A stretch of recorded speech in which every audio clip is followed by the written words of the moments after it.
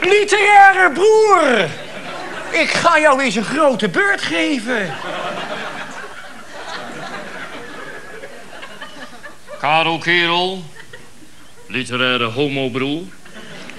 Ik ben altijd in voor een enorme beurt, maar eerst even een gedicht.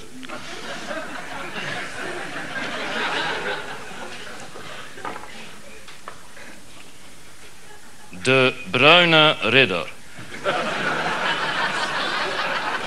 O, Bruine Ridder, met uw stijven zwaard.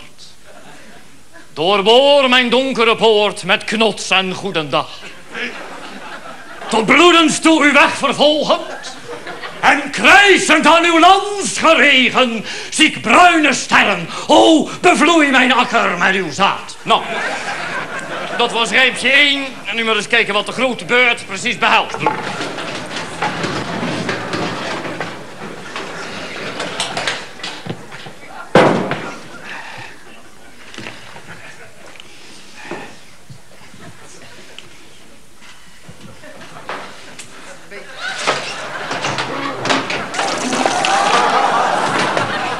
Zo, Gerard. En nou eens even over dichters gesproken. Ja? Ken jij een zekere Abdullah Ghaim? Abdullah ja maar natuurlijk. Abdullah de ongekroonde koning van het herentoilet. Hij trok de karrensporen in het glazuur van menig pot. Wanneer hij wederom de billen uiteenspleet voor weer een boodschap gods. Bergenbruinwerk verzette als hij met de terlenkenbroek rond als heren sokken zwoegend en met gegronde rug de ingewanden leegde. Maar dichter kon niet, de lul, nog genomineerd voor een enorme literatuurprijs. Ja, Gerard. Jij hebt menig aars voor je neus zien opengaan. Hè? En met je van spuug druipende vuist doorboord.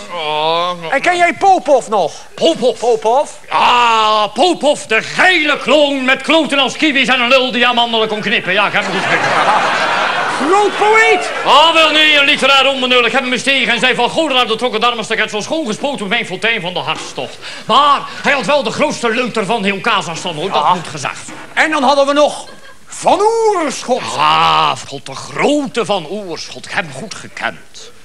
Ik spoot het permanent uit zijn vieren jongenskuif... en hij neukte me kaal tegen mijn eigen prijzenkast... met zijn larf die diep weggekropen in de plooien van de onderbuik. Tevoorschijn sprong als een scheepsmast. Een fervent motorrijder, doch ik neukte hem vol uit zijn rundlederen pak. Van Oerschot, maar wel eventjes de winnaar van een grote literatuurprijs. Genomineerd, broer. Slechts genomineerd. Ach, wel nee. Hij dichtte voor geen meter. Doch een groot pijper, dat wel. Oh, ik voel nog hoe mijn volle kloten met dwingende regelmaat tegen zijn magere beeld aan het kletsen doen met mijn scepter van de hartstocht. Geen poer waaide het onbespoten Marokkaanse jongensgaatje. En hij bespeelde mijn als begenadigd bij die schitterend in het witte tegenlicht van druipend sperma.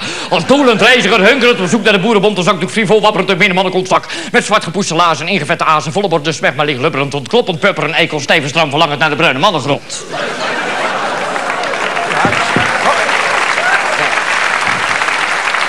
Het rijmt allemaal niet, maar ik heb er een paal van gekregen die respect afdwingt.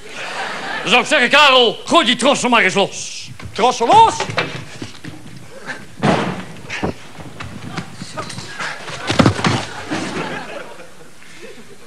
Nou, het is van een hele andere boot, maar het is knap dat je het losgekregen hebt.